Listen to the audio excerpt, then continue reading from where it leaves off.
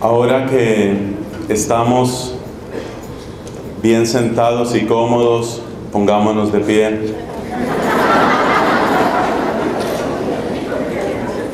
Dios te salve María, llena eres de gracia, el Señor es contigo. Bendita tú eres entre todas las mujeres, bendito es el fruto de tu vientre Jesús. Santa María, Madre de Dios, pecadores, ahora y en la hora de nuestra muerte. Amén. En el nombre del Padre y del Hijo y del Espíritu Santo. Amén. Tenga la gentileza de sentarse.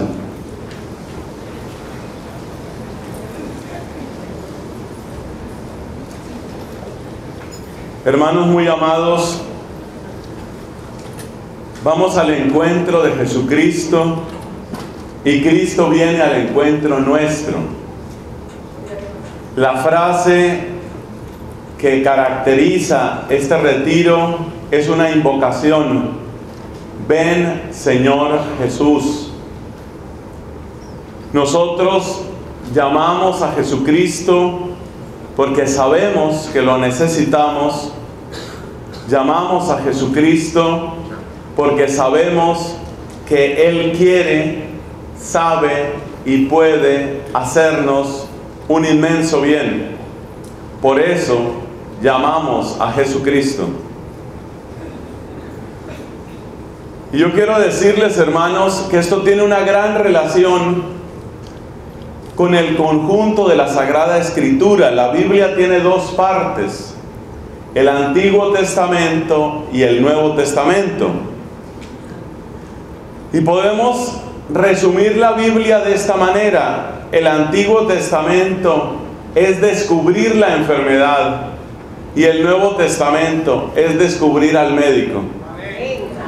Ese es el resumen de la Biblia, no es tan difícil.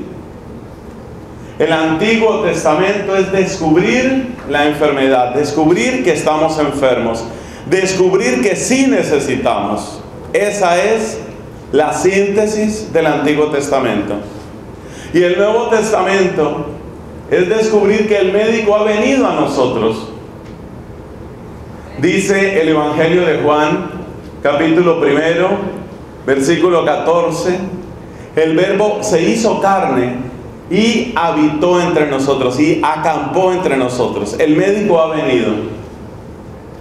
Cuando hay angustia en un hogar porque alguien está enfermo, porque alguien tuvo un accidente, lo más importante en ese momento se llama al médico y luego hay una noticia, llegó, ya llegó.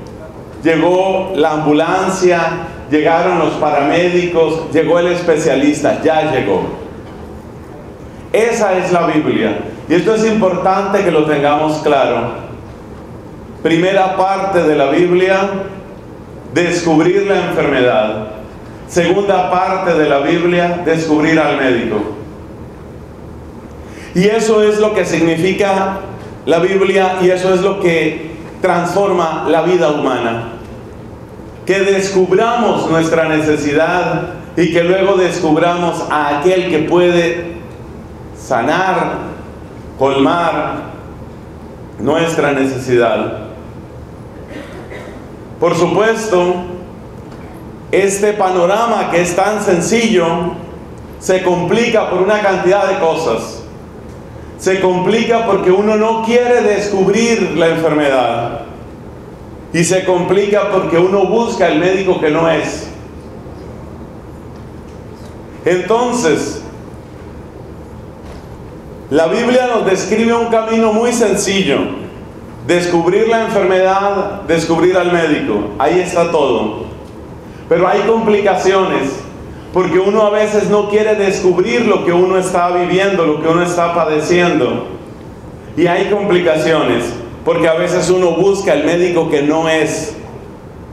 El profeta Jeremías dice algo muy importante como una denuncia. Dice, este pueblo mío es Dios el que habla a través de Jeremías. Este pueblo mío ha cometido dos pecados.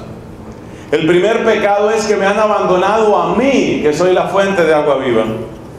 Y el segundo pecado es que se han cavado pozos falsos, cisternas que no pueden retener el agua. Entonces date cuenta que cometemos esos dos errores. Primero que no queremos descubrir nuestra situación real. No queremos descubrir nuestro pecado, no queremos descubrir nuestra enfermedad. Y segundo, que aunque la descubrimos, entonces buscamos donde no es.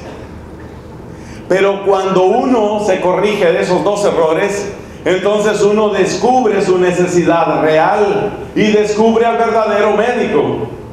Y el verdadero médico hace maravillas en nuestra vida. Y es ahí donde experimentamos aquello que dice el capítulo décimo del Evangelio de Juan. Yo he venido para que tengan vida y la tengan en abundancia. Pero si nosotros preguntamos a mucha gente por las calles y si nos vamos incluso a los grandes centros comerciales y si entramos a los casinos y si vamos a las casas de prostitución o si vamos a buscar a los que se están drogando y les preguntamos, tú conoces la vida en abundancia, tú tienes vida en abundancia. Y ellos nos van a decir con sus palabras, pero sobre todo, nos van a decir con la tristeza de sus rostros, yo no sé de qué me estás hablando. La cara que mucha gente tiene, el dolor que mucha gente tiene, está demostrando que no conocen la vida en abundancia. Por eso es hermoso que hoy nuestra querida parroquia de la Inmaculada Concepción ha abierto sus puertas tenemos este magnífico lugar y tenemos este magnífico tiempo. Hoy estamos aquí reunidos para orar, para escuchar la palabra, para recibir bendición, para ser transformados, para descubrir la enfermedad y para descubrir también al médico. Y si eso se logra el día de hoy, la persona que va a salir por esa puerta no es la misma persona que entró a este lugar. Tú vas a ser una persona diferente. Eso es lo que va a suceder. Y eso es lo que Dios quiere hacer con nosotros. Esas son las maravillas de su amor.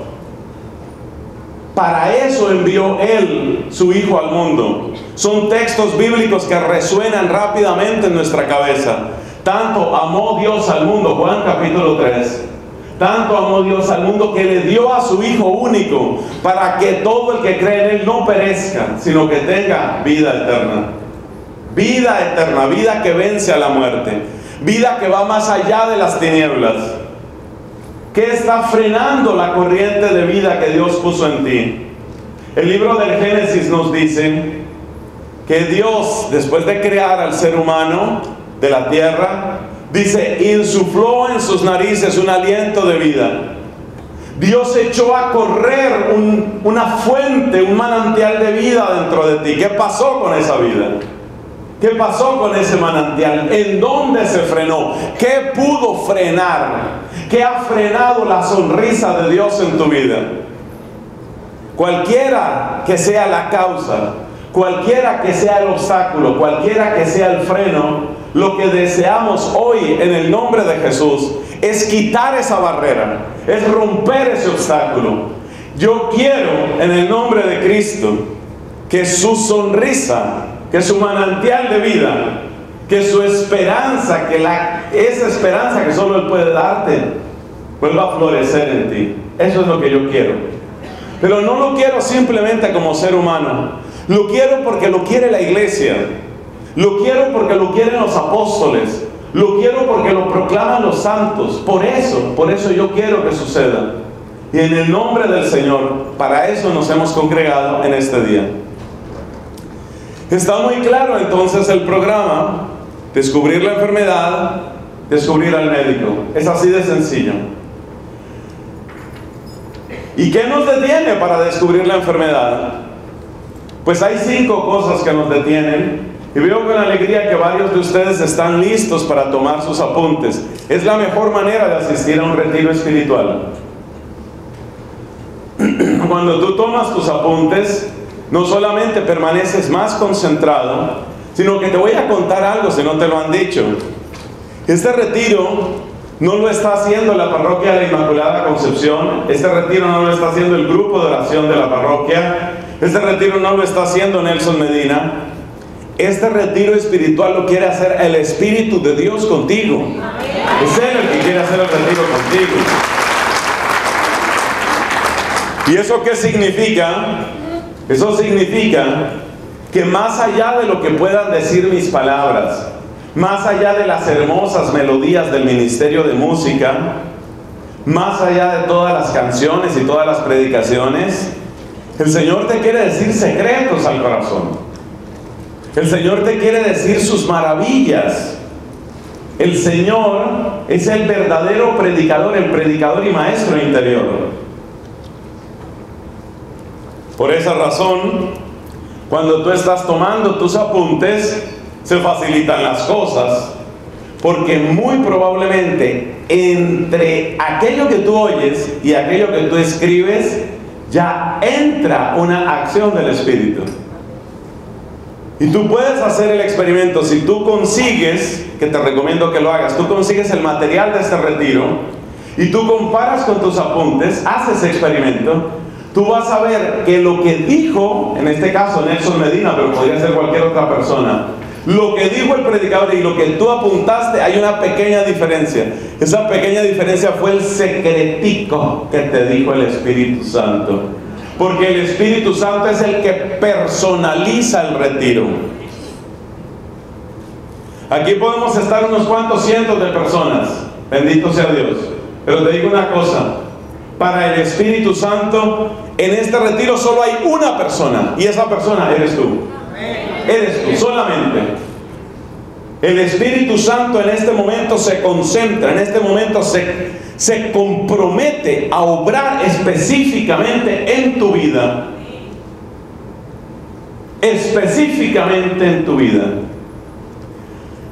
Entonces vamos con las dificultades. Dijimos que las dificultades para reconocer la enfermedad son sobre todo cinco. Sobre todo cinco dificultades. Cinco obstáculos que nosotros ponemos.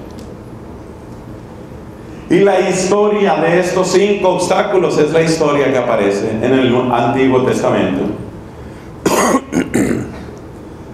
¿Cuál es el primero de esos obstáculos?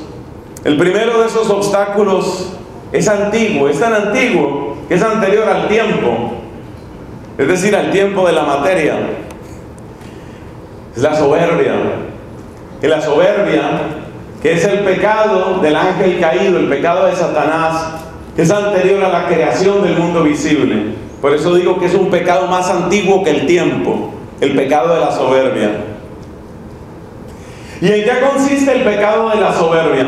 Consiste en que para reconocer que yo estoy enfermo, tengo que reconocer que yo no soy tan fuerte como yo creía, que yo no soy tan inteligente, tan listo como yo creía, que yo no soy tan simpático como yo creía, que yo no soy tan saludable como yo creía. Ahí es donde aparecen nuestros rasgos de soberbia. Porque cada uno de nosotros está convencido, cada uno de nosotros tiene idea, una idea que es falsa, de que somos más fuertes, más inteligentes, que somos más agradables, que somos más saludables. Y resulta que el descubrimiento de la enfermedad el descubrimiento de la incoherencia, el descubrimiento de nuestro pecado, es como si uno descubriera una grieta en la vida y uno no quiere, uno no quiere reconocer esa grieta. Porque esa grieta significa que yo soy menos de lo que yo creía, menos inteligente de lo que yo creía, menos bonito de lo que yo creía. Nosotros tenemos muchas veces esa soberbia que es el principal obstáculo. Y esa soberbia es la que también hace que uno apele al primer médico que es uno mismo, es decir, esto lo arreglo yo. Esto yo lo puedo arreglar. Incluso cuando la persona empieza a darse cuenta que tiene un problema, empieza a decirse, sí, tengo un problema, pero yo lo arreglo. Es el caso de la persona que tiene dificultades con el alcohol.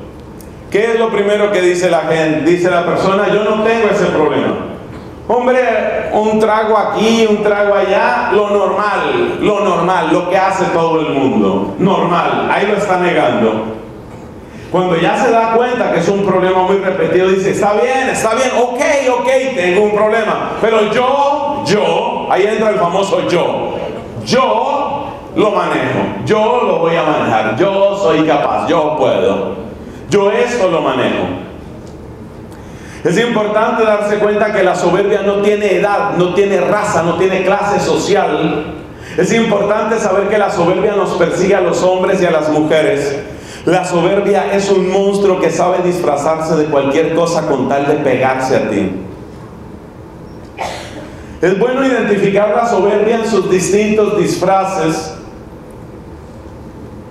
Para nosotros, por ejemplo, los varones, muchas veces la idea es, yo tengo todo bajo control, yo entiendo exactamente qué me está pasando, yo tengo todos los factores yo sé, yo sé, déjame, déjame que yo sé, déjame, yo resuelvo eso. Eso es muy típico del varón. El varón quiere afirmar su masculinidad, quiere afirmar su fuerza, diciendo yo conozco, yo puedo, yo me encargo, yo. Entonces eso puede hacer creer que la mujer es más humilde. A veces la mujer es más humilde, no siempre. Porque sucede que la mujer también tiene otro tipo de soberbia y tiene otro tipo de yo. Y ese tipo de yo muchas veces funciona a través de otra persona. La mayor parte de los matrimonios en desastre que yo haya visto corresponden al siguiente cuadro. Señora, ¿usted se dio cuenta de que su esposo era drogadicto? Sí. ¿Se dio cuenta que era mujeriego? Sí. ¿Se dio cuenta que era vicioso del juego? Sí. ¿Se dio cuenta de que era ladrón y perezoso? Sí. ¿Se dio cuenta que dependía de la familia y que nunca salía de la falda de la mamá? Sí. Señora, ¿usted por qué se casó con él? Porque yo lo iba a cambiar. Esa también es una soberbia. Yo, yo como mujer, yo mujer, lo voy a cambiar. Y entonces dice, señora, ya que le he hecho tantas preguntas, reciban una más. Señora, usted es omnipotente. Porque si la señora dice que lo va a sacar del alcoholismo, de la droga, del robo, del juego y de todo, y hasta de la falda de la mamá.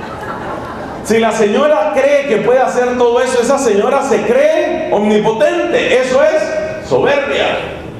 Eso es soberbia.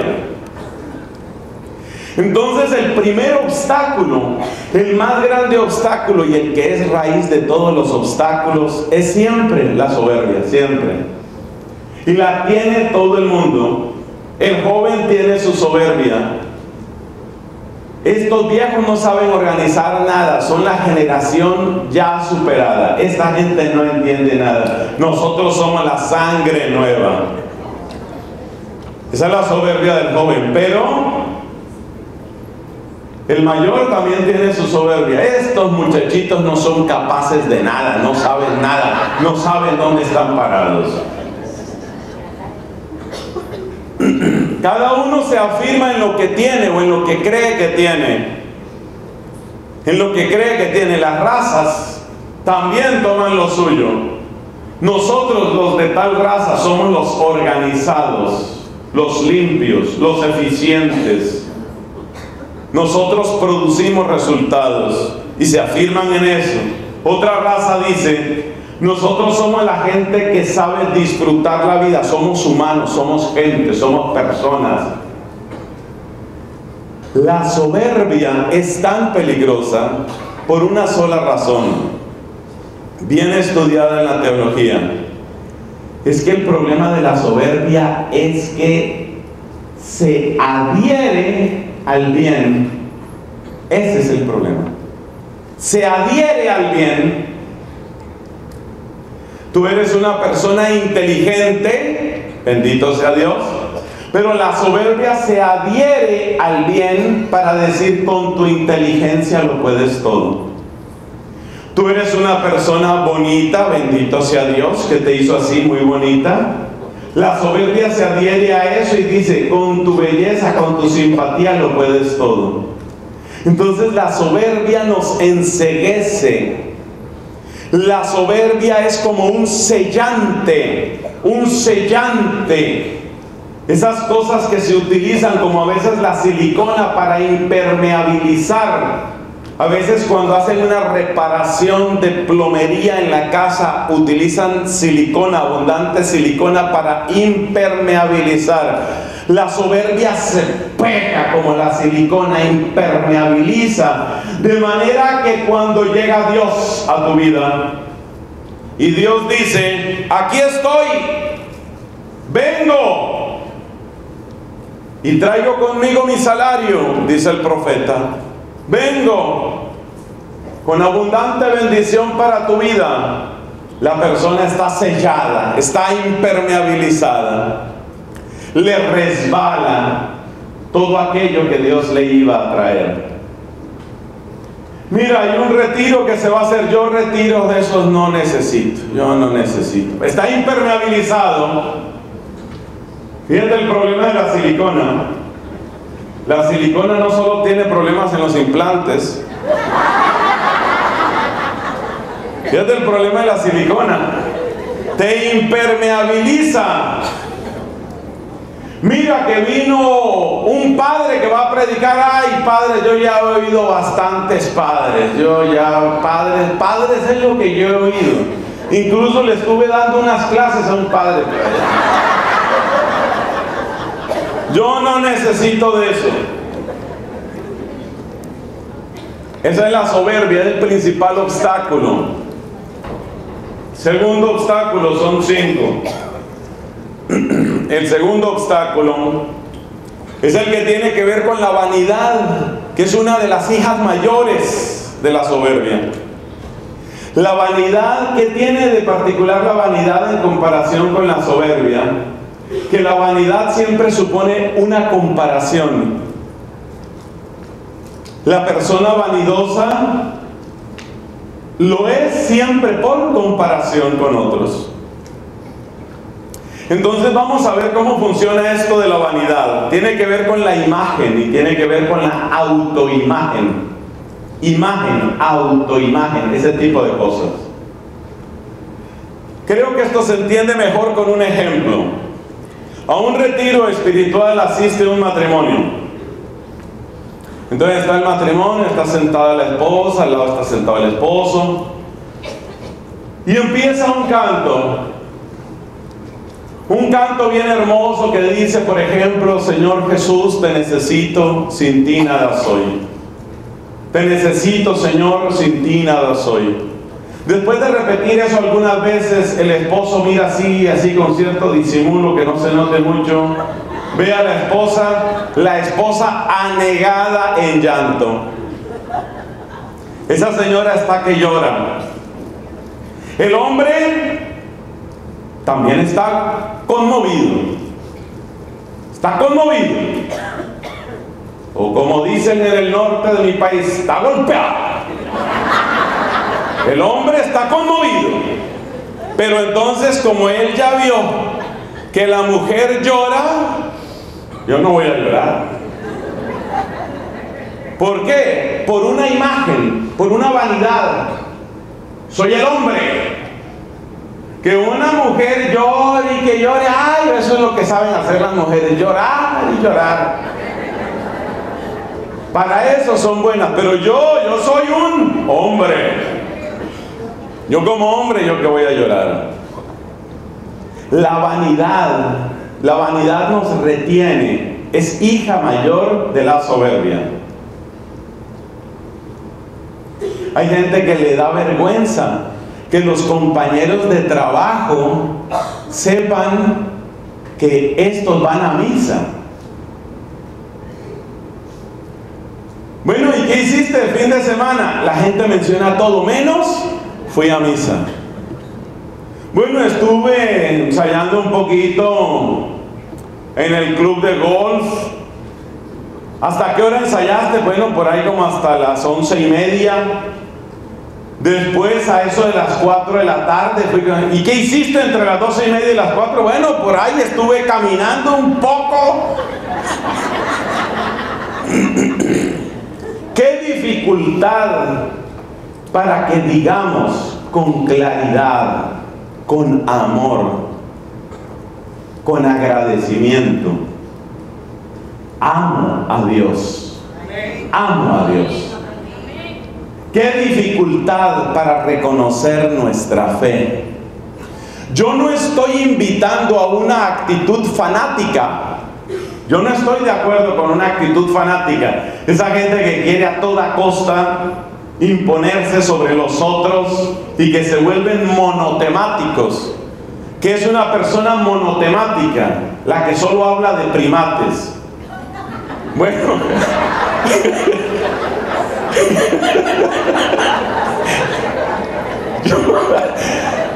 Yo, no estoy invitando a una actitud monotemática.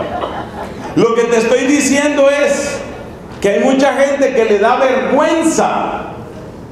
Vergüenza decir que necesita ayuda psicológica. Vergüenza. ¿Por qué? Porque si, si en mi trabajo saben que yo estoy recibiendo ayuda psicológica, quiere decir que probablemente yo soy débil y yo no quiero que me vean como débil. Entonces negamos que necesitamos ayuda. Yo te invito a que superes esa actitud. ¿Dónde estuviste? En un retiro espiritual. Y tú le gastas tiempo a eso. Yo no gasto tiempo, yo invierto tiempo. Y es un tiempo preciosamente invertido.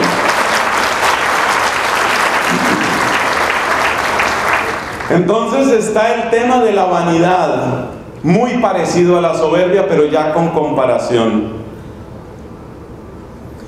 Y resulta que la vanidad impide la evangelización, por ejemplo, en la casa. Mira, de lo más importante para los niños pequeños es ver la oración de los papás. Sobre todo el hombre, sobre todo el hombre. Cuando un papá les muestra a los hijos que es capaz de postrarse ante Dios, les está dando una catequesis que jamás se les va a olvidar. Jamás se les va a olvidar. Pero a veces por vanidad no hacemos eso.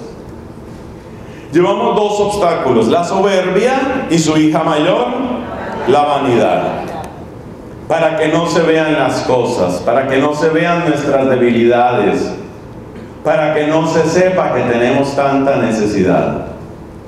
Tercer obstáculo.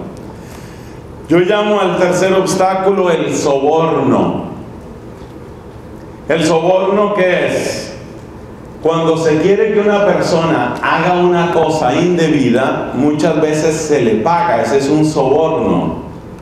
Es un dinero ilícito que se da para convencer a una persona de que haga algo que no debería hacer. Pero resulta que el primero en sobornar es el pecado.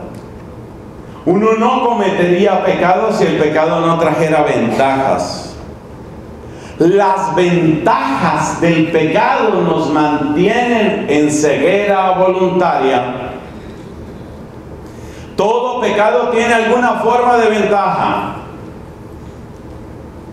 Después, por supuesto, las desventajas son mucho más graves que las ventajas. Pero en el momento son ellas las ventajas las que sobresalen. Por ejemplo, examinemos el caso de la persona que se emborracha. Esa persona experimenta algo delicioso,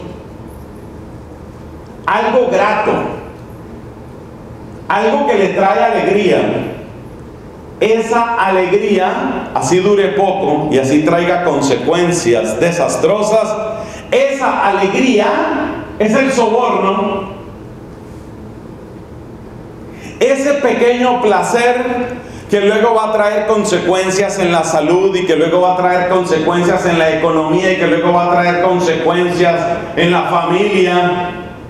Luego las desventajas van a ser mucho peores que las ventajas. Pero, pero, mientras se disfruta ese trago, el soborno te mantiene encadenada. Hay muchas formas de soborno, todas las que tienen que ver con el placer, por ejemplo. ¿Por qué un hombre, por ejemplo, o una mujer, por qué pone en riesgo su honra, su matrimonio, su familia, cometiendo infidelidad? ¿Por qué lo hacen? Porque hay un placer. No es solo como se piensa el placer sexual, es el placer de la aventura, es el placer de soy capaz, es el placer de todavía gusto. Todavía gusto. Hay un placer y ese placer en sus más diversas expresiones es el soborno, el soborno con el cual el pecado pretende mantenerte encadenado. El soborno te encadena, ese placer que tú sientes hay otro tipo de placeres que son menos evidentes, por ejemplo el placer del poder. Yo mando y los demás obedecen. Eso, eso trae un cierto placer y por eso el poder, el poder encadena, el poder engolosina. Las personas se aferran al poder y no quieren dejar el poder. ¿Por qué? Porque hay un cierto placer en eso de mandar, en eso de ser el que decide, en eso de ser el que resuelve.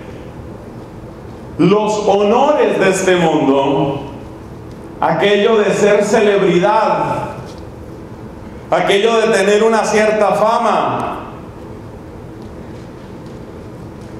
Muchas de las personas que se hacen un daño más salvaje, primero a su alma, pero también a su cuerpo, son personas esclavas de la fama. La mayor parte de las cantantes, sobre todo las cantantes y también muchos cantantes que ustedes conocen, prostituyen su cuerpo, degeneran su vida, caen en blasfemia, se hacen un daño brutal. ¿Por qué? Para seguir siendo relevantes, para seguir siendo visibles por el placer de saber que tienen muchos que les prestan atención, muchos que los siguen, muchos que compran sus discos o que se les vuelven seguidores en las redes sociales.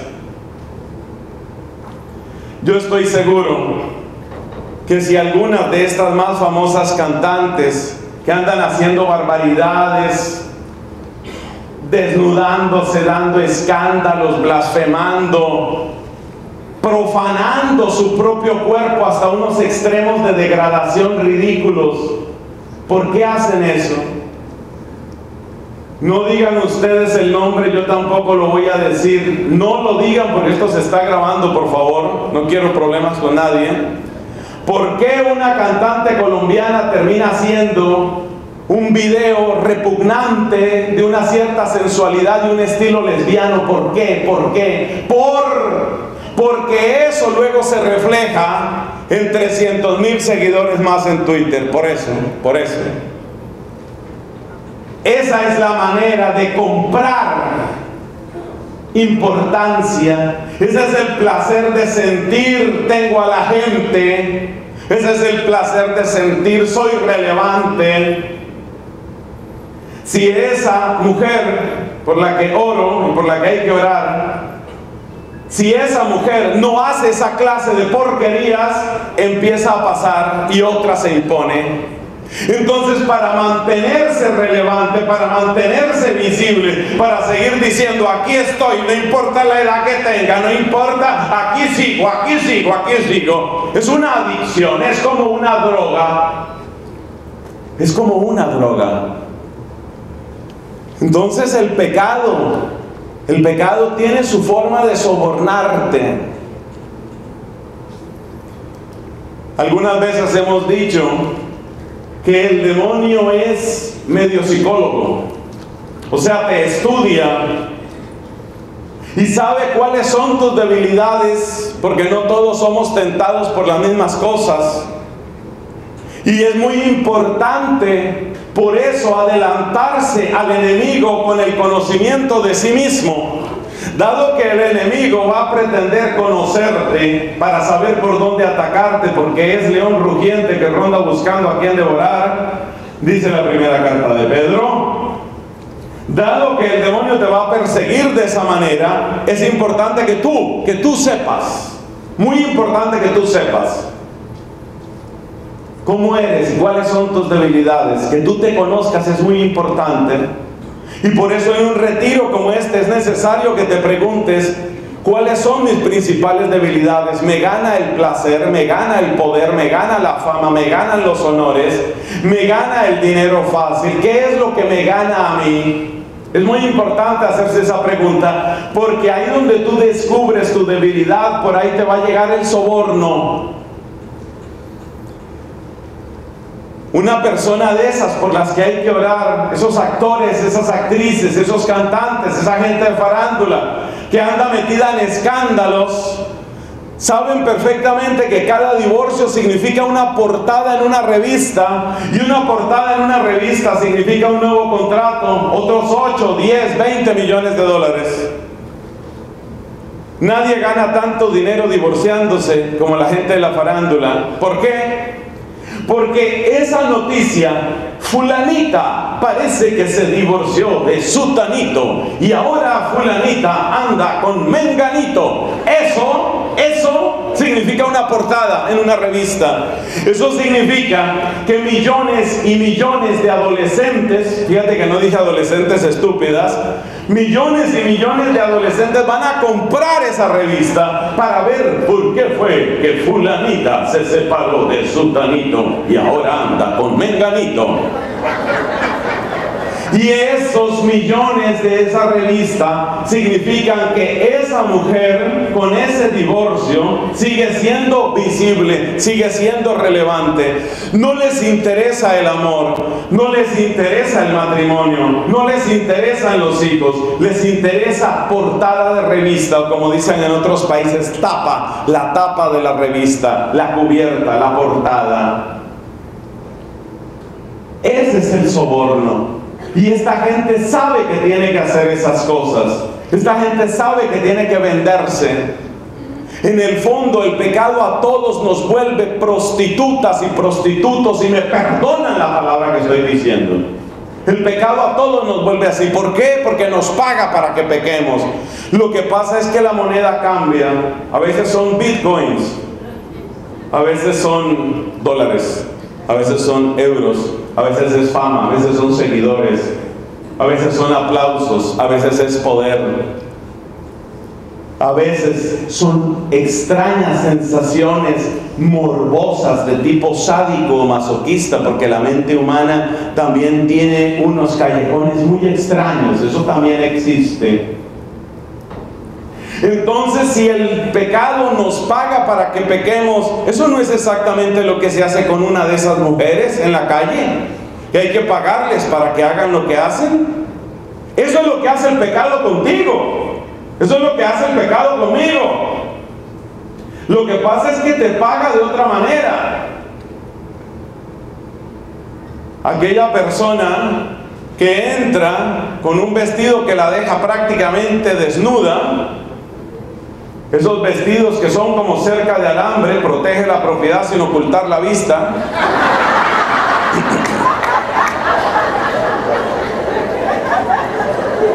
Cuando una persona entra con uno de esos vestidos que dejan muy poco a la imaginación, experimenta un placer. ¿Cuál es ese placer? Yo lo he analizado detenidamente. ¿Cuál es ese placer? Es el placer de ir dejando verdes de envidia a las otras. Yo he descubierto para mi sorpresa que la mayor parte de las mujeres se visten en un 10% por agradar al hombre y en un 90% por disgustar a las demás mujeres. Entonces entra esta con su vestido vaporoso y va viendo una verde, es decir, verde de la envidia. Dos verdes, tres verdes, ocho verdes, cincuenta verdes. Qué bien. Hoy soy la reina, queen of the party. Soy la reina. Ese es un placer. Todas las miradas están en mí. Soy la reina, soy el centro igualitas las palabras a las que dice la gran prostituta en el libro del Apocalipsis. Soy la reina, soy el centro, todo depende de mí. Todos me miran, tengo dominado. Los hombres dominados, las mujeres impotentes delante de mí. Es un placer, un placer morboso, un placer repugnante pero un placer que tiene un enorme poder en mucho corazón femenino. Podríamos dar muchísimos ejemplos. Llevamos tres obstáculos, ¿no? La soberbia, ¿cierto? La hija mayor, que es la vanidad. Y después el soborno, las ventajas del pecado. ¿Cuál es el gran remedio frente al soborno? Tenemos que pedirle a Dios Ojalá por intercesión de Santa Catalina de Siena, que predicó tanto esto, tenemos que pedirle a Dios la gracia del conocimiento de nosotros mismos. El día que esa mujer semidesnuda se da cuenta de la payasada, el ridículo que está haciendo y el daño que se está causando, el día que ella se da cuenta que ella se ha vuelto adicta a eso, ese día seguramente dice, yo tengo que hacer algo. Ya por lo menos empezó a descubrir la enfermedad. Esto es muy importante. Ahí llevamos tres de los principales obstáculos que uno tiene, tres de esos obstáculos. Vamos con el número cuatro. La cuarta dificultad, cuando se trata de descubrir nuestras enfermedades, está en una realidad que muchas personas tienen y que la podemos llamar ajuste de cuentas o que la podemos llamar rencor, venganza, desquite, a ver qué es lo que sucede. Vamos a tratar de escribirlo y luego encontramos la palabra exacta para esto. Vamos a suponer una persona que está llena de amargura. La amargura, cuando realmente se asienta en un corazón, no solamente le hace daño al alma, tú sabes que somos una unidad psicosomática. Y con mucha frecuencia cuando una persona está llena de resentimiento, esos sentimientos malos terminan enfermando también el cuerpo.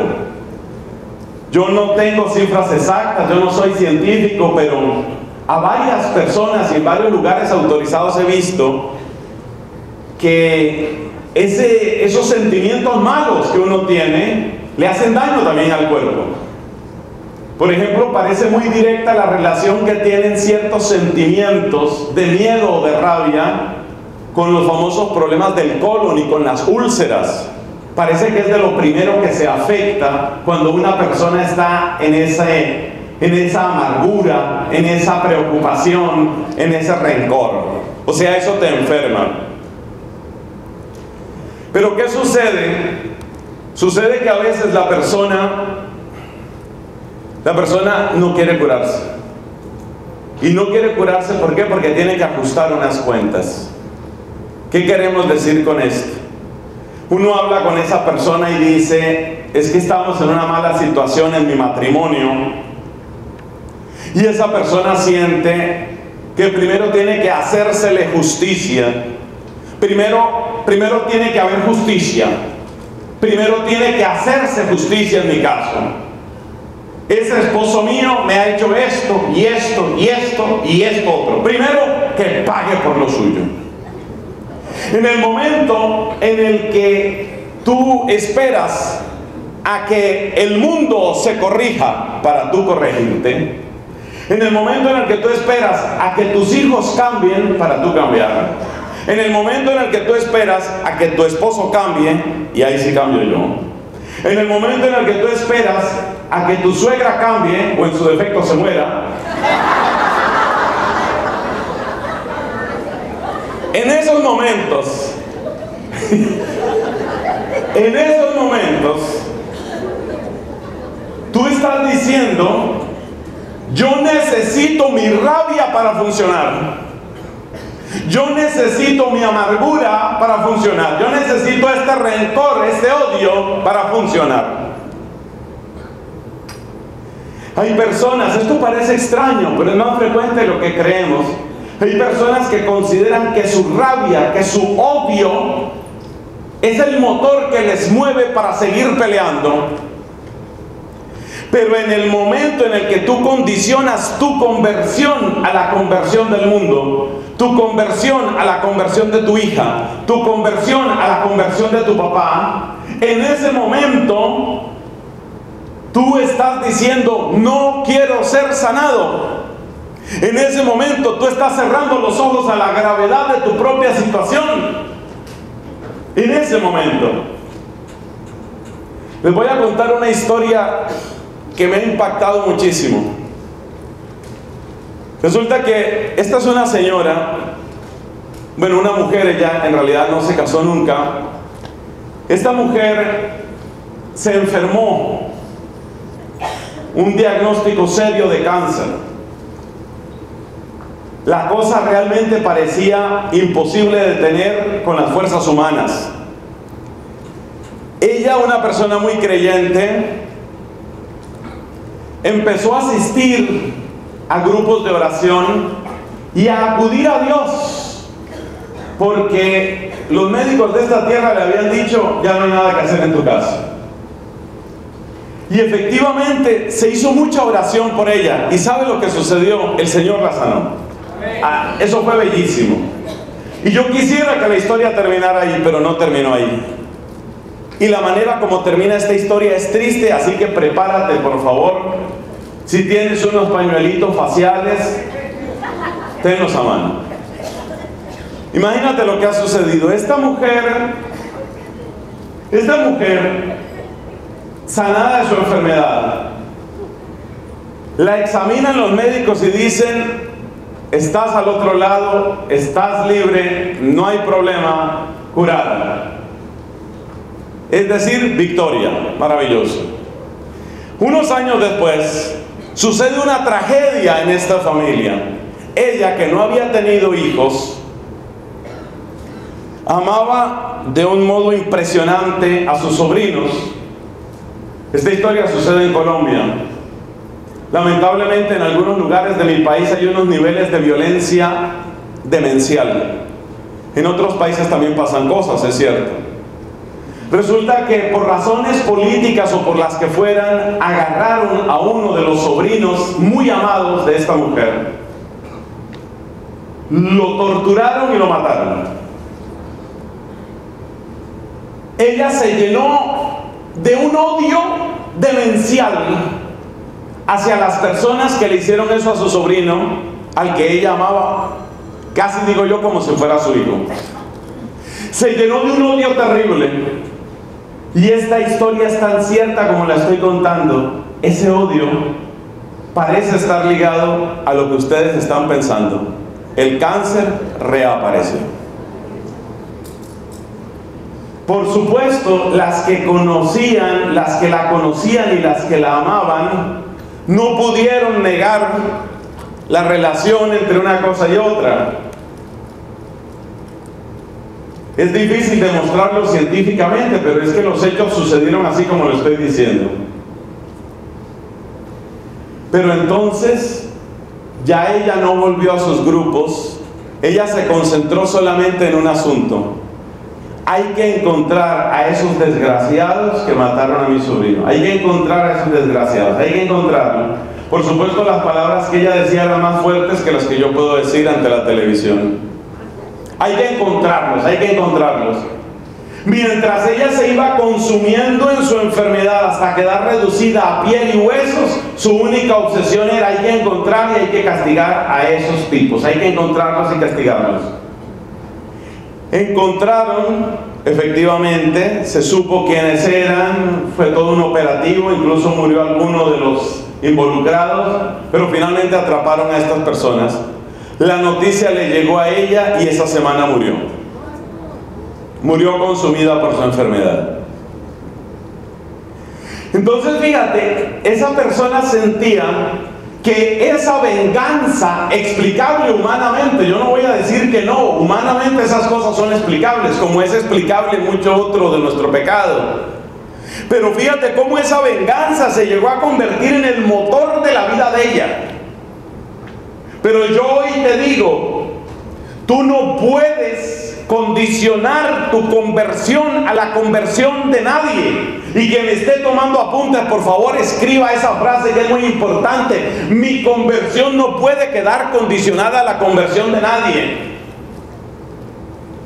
Yo no puedo esperar a convertirme cuando cesen las injusticias en el mundo. Yo no puedo esperar a convertirme cuando mis hijos por fin sean agradecidos. Cuando mi papá por fin me dé el abrazo que nunca me ha dado. Cuando mi esposa por fin me valore como yo merezco. Cuando mi esposo por fin sea yo no puedo condicionar mi conversión a nadie. Y cuando tú le pones una condición a Dios, eso se llama, yo tengo que ajustar unas cuentas. El ajuste de cuentas te vuelve ciego.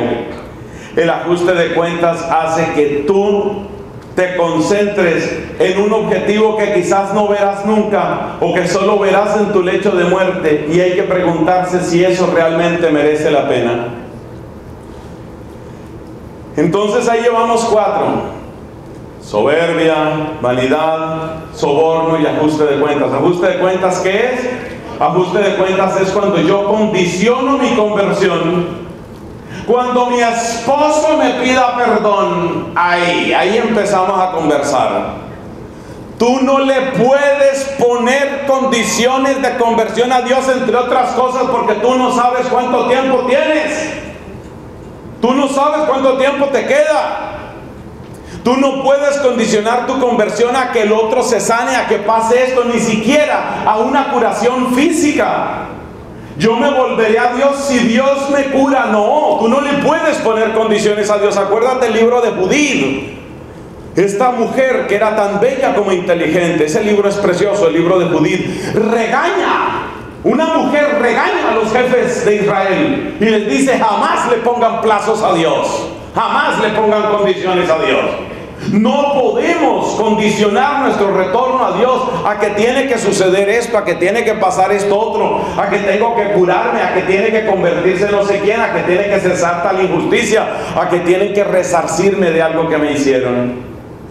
Tu conversión no puede tener plazos porque tú no sabes cuánto tiempo tienes y tú no sabes, créeme que no lo sabes y yo tampoco, de qué nos hemos estado perdiendo por poner condiciones. Además te digo algo, si tú le vas a poner condiciones a Dios vas a tener que esperar hasta el fin del mundo. A ver, vamos a poner una condición. Mira, yo creeré en el amor cuando se acabe el hambre en África. Yo creeré en el amor cuando israelíes y palestinos sellen una paz perpetua. Yo creeré en el amor. Mira, para creer en el amor hay que creer en el amor que Dios ya te ha dado a ti. Claro que hay que luchar por la paz en el Medio Oriente, pero sabes una cosa, Dios te necesita a ti convertido para ayudar a orar y a trabajar por la paz. A ti te necesita convertido. Decirte esto. Tú eres parte de la solución. Tú eres parte de la solución. No le pongas plazos a Dios. Hay mucha gente que por una especie de orgullo, un orgullo que tiene, sobre todo eso sucede en la pareja. Hay parejas que se llenan de un orgullo muy grande. Hubo una pareja que celebró 83 años de matrimonio y entonces entrevistan en ese día feliz, entrevistan a, ese hombre y le preguntan, ¿a qué atribuye usted que su matrimonio haya llegado a esta fecha tan memorable? Pues yo no le iba a dar el gusto de morirme primero.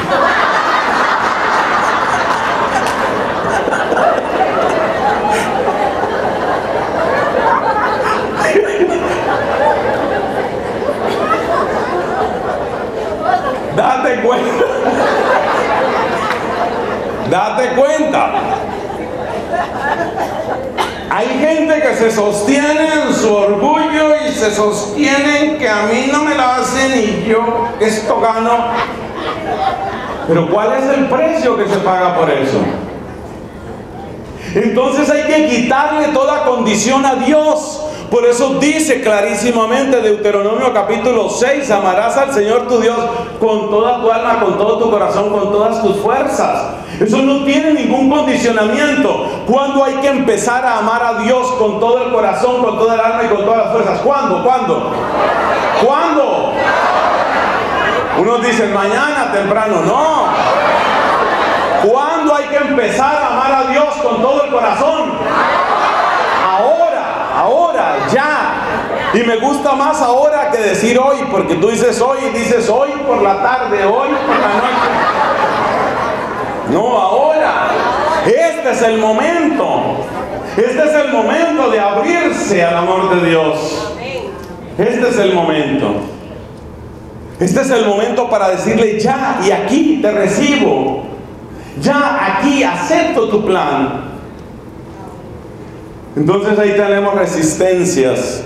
Y por supuesto, cuando yo condiciono mi conversión a la conversión de mi esposa, entonces ya yo no me fijo en mis problemas ni en mis defectos, sino en los defectos de la esposa. El que condiciona su conversión a que el papá se convierta, entonces ya no mira sus errores, ya no mira sus pecados, ya no mira sus defectos, sino los del papá. Cada día lo que mira es, ya cambió mi papá, mi papá no ha cambiado, quedo yo exhibido de cambiar. No, así no funciona. El último punto para terminar esta reflexión, último punto, el último obstáculo, que es también extraño, como es extraña la mente humana muchas veces. El último punto es este. Se llama autocompasión. Autocompasión. Hay personas a las que les gusta estar enfermas. Hay personas a las que les gusta estar mal porque les gusta despertar compasión, porque les gusta tener derechos especiales. Esto parece muy extraño. Uno dice, pero ¿cómo puede ser tan retorcida la mente humana? Pues te cuento que sí, así funciona la mente humana. Así funciona. Porque resulta que en el momento en el que uno está enfermo, por lo menos puede llamar la atención. Y todos tenemos algo de nuestra infancia, algo de cuando éramos niños o niñas, y ese algo se llama llamar la atención. Entonces, la autocompasión hace que a veces uno prefiera estar enfermo, porque estar enfermo significa estar en un régimen especial. Estar enfermo a veces es sentirse como en una especie de crisálida, como en una especie de protección. En cambio, estar sano, estar curado significa salir a afrontar la vida con todas sus consecuencias, con todas sus dificultades, con todos sus desafíos. Y eso no es tan fácil. Entonces uno muchas veces prefiere quedarse ahí y ser como una especie de régimen especial Qué importante, mis hermanos, cuando llega a nosotros el Espíritu Santo de Dios, qué importante esa llegada del Espíritu de Dios que te dice, levántate y anda. Levántate y anda. No es solamente levántate, es anda funciona. Mira qué hermoso lo que nos cuenta el Evangelio de Marcos. Cuando Jesús curó a la suegra de Pedro, sobre esto han hecho muchos chistes, pero yo no voy a hacer ningún chiste sobre esa señora. Cuando Jesús curó a la suegra de Pedro, el evangelista nos dice, se levantó y se puso a servirles. Entonces a veces hay un egoísmo, hay una pereza, hay una comodidad, hay una inmadurez que se disfraza de yo soy un caso especial. Yo realmente como casi nada puedo y resulta que en el Evangelio de Cristo todo sirve, todo. Pero yo de qué voy a servir si soy una persona muy enferma que tiene muchos dolores. Si usted es enfermo y tiene muchos dolores, usted tiene muchísimo, pero muchísimo que aportarle a la Santa Iglesia, porque si hay algo que la Iglesia necesita, son corazones que se unan con fe a la pasión de nuestro Señor Jesucristo en fecundidad. Que te voy a decir.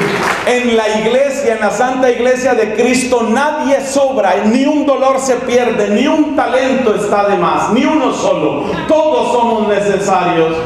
Hay gente que dice, pero yo cómo voy a ayudar? Si yo pues realmente no es que sea muy inteligente, de hecho la cabeza me toma el pelo. Entonces yo cómo puedo ayudar? Mira, en la Santa Iglesia de Dios todos somos importantes. Nuestros dolores son valiosos, nuestras limitaciones son valiosas, nuestras oraciones son valiosas. Todo es importante, todo. De hecho, lo que nos dice nuestro Señor Jesucristo es que aquellas personas que más padecen, son las personas que muchas veces están más unidas a Él. Y de un modo muchísimo más puro y con una eficacia muchísimo mayor. Hay historias maravillosas de grandes santos que a través de sus padecimientos lograron cosas hermosas. Hay una mujer que es tenida por santa por mucha gente, la fundadora de los foyers de Charité, una obra de casas de retiros en todo el mundo. Esta mujer se llamaba Marta Robin. Se escribe Robin, pero es en francés, Marta Robin. Marta Robin estuvo postrada en una cama paralítica, medio ciega, sufriendo todo tipo de cosas en 50 años. Y así postradita en una cama y enferma, fundó una obra que está en no sé cuántos países en todo el mundo. No digas que tu dolor te hace incapaz de servir. Lo que te hace incapaz de servir es otra cosa, pero el dolor no. El dolor es útil, el sufrimiento es útil, es necesario. Tus talentos son útiles. Yo no puedo servir porque yo tengo un pasado que si yo lo vendiera a Hollywood la plata que ganaría. Tengo una historia, pero de aquellas. Mínimo sirve para novela mexicana y de las buenas. ¿Y qué pasa con que tengas un pasado? Tu pasado no sirve. ¿Qué te dice Juan, capítulo 4? La samaritana tenía un pasado, un pasado un poquito escandaloso.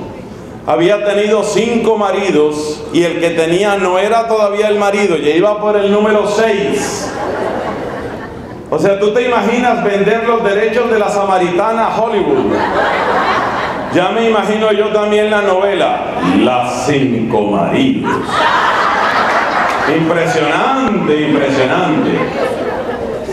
Una historia de intriga, sensualidad. Ya me imagino yo las propagandas. Pero, ¿qué le pasó a las cinco maridos? Cuando ella recibió al Señor Jesucristo, fue a predicar y le decía a la gente del propio pueblo, el pueblo se llama Sicar, le decía a la gente del propio pueblo, oigan, aquí hay uno que me ha dicho todo lo que yo he hecho. Ella usó su pasado para qué? Para predicar. Entonces no vuelvas a decir, no, pero es que yo porque soy enferma, es que yo porque tengo un pasado, yo no puedo ayudar. Hay otros que se disculpan como Jeremías, yo soy un muchacho.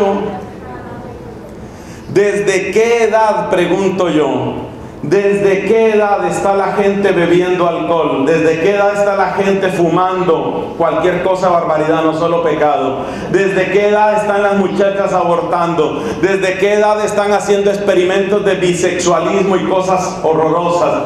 ¿Desde qué edad están en las garras de la pornografía? Desde los 11, los 12, los 13 años. Si a los 11, si a los 13 años eres útil a Satanás en su proyecto de destrucción de la juventud, no será que un niño de 13 años pueda hacer cosas grandes por Cristo. No será. ¿Cómo es eso? ¿Cómo es eso de que estamos muy jóvenes para servir a Dios, pero ya estamos maduros para servir al pecado. Ese es un escándalo, hermanos. Y eso no puede ser. No vuelvas a decir es que soy muy niño. ¿Muy niño para qué? Muy niño para servir a Dios y para emborracharte. No, para eso sí estoy grande. Eso me hace acordar cuando llegó una mamá a la casa y entonces tenía un hijo de 21 años. Albertico, ¿dónde está mi bebé Albertico, mi hijito? De esas mamás que malcrían a los hijos. Albertico. Y responde el hijo por allá al segundo piso. Mamá, ¿qué es eso hablarme así? Yo ya soy un hombre viejo. Entonces le dice la mamá, bueno Alberto, si ya eres un hombre viejo, ayuda a pagar la renta, ayuda a pagar el mercado. Aquí estoy, mamá.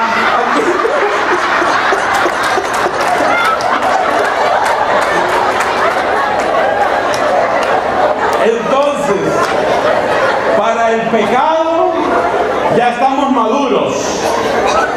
En cambio, para servir a Dios, ahí sí no se puede. O si no, las señoras que tienen sordera selectiva. Hay una sordera selectiva. El Señor te dice que te conviertas. ¿Qué qué? ¿Qué? ¿Cómo? Que traigo un chisme fresco. Diga, diga, diga. Ahí sí, ahí sí está lista. Somos útiles para Dios, ni un pretexto más. Deja esa autocompasión, deja de decir, bueno, si el Señor un día se acuerda de mí, yo le podré servir. No, desde hoy, desde ahora. Entonces vamos a quitar los cinco obstáculos. La soberbia, la vanidad, las ventajas del pecado, sea el soborno, el ajuste de cuentas que primero se convierta en otros y la autocompasión egoísta. Cuando quitamos todo eso que descubrimos, que nuestra realidad y nuestra verdad es que estamos en profunda necesidad, pero hay uno que viene y se llama Jesucristo. Vamos a ponernos de pie, por favor, terminar este momento con una oración. Vamos a decirle a Jesús que quite, que derribe de nuestra vida todo engaño y toda mentira. Amado, amado y bendito Señor Jesucristo, quita de nuestra vida todo engaño, quita de nuestra vida toda mentira, quita de nuestra vida todo obstáculo. Hoy nos presentamos ante ti, tales cuales somos. Aquí estamos, Señor. Así nos presentamos ante ti, espiritualmente desnudos ante ti para decirte, así como soy, así te necesito, Señor. Así como tú, Señor, en la cruz estás desnudo y desde tu desnudez y tu indigencia eres transparencia del amor de Dios, así también yo en este momento, espiritualmente desnudo, me presento ante ti y te, te digo, esto soy, Señor, y te necesito. Y soy tuyo, Señor. Y así como tus llagas, Señor, son un grito de amor que habla del amor del Padre, así también mis llagas son un grito de amor que habla de mi necesidad. Bien dijo San Agustín, únase la miseria y la misericordia. Miseria, eso soy, misericordia, eso eres tú. Y dijo también San Agustín, que yo me conozca, Señor, y que yo te conozca. Que yo me conozca para saber que te necesito que yo te conozca para saber que en ti todo lo encuentro. Bendito, bendito seas Jesús.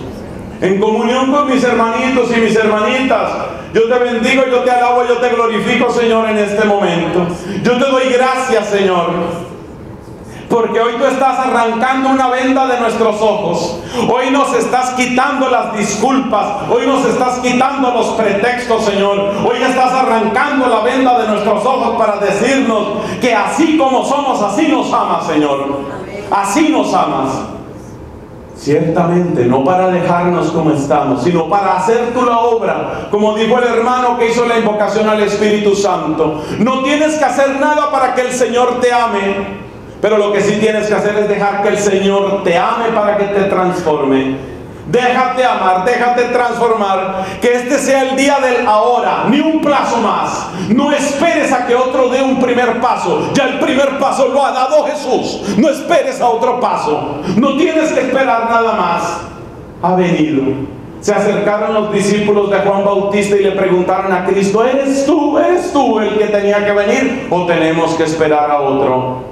Y Jesús les dijo, los ciegos ven, los sordos oyen, los cojos andan, se anuncia a los pobres la buena noticia. Ya no tienes que esperar nada más. Hermanito, ya no tienes que esperar nada más. Abre tu corazón al Señor. Vamos a prepararnos, por favor, para un canto en este momento. Un canto de alabanza, un canto para darle gracias a Dios. Un canto para entregarnos a Él y para decirle, sí Señor, yo hoy te recibo. Sí Señor, yo hoy te respondo desde lo profundo de mi alma. Y hoy te glorifico, Señor Jesucristo. Y hoy me entrego a ti sin un pretexto más. Hoy le doy, Señor, hoy le doy fórmula de despedida a mi soberbia y me reconozco necesitado. Hoy le doy fórmula de salida a mi vanidad y me reconozco necesitado. Hoy quiero desechar los sobornos con los que el pecado me ha mantenido encadenado.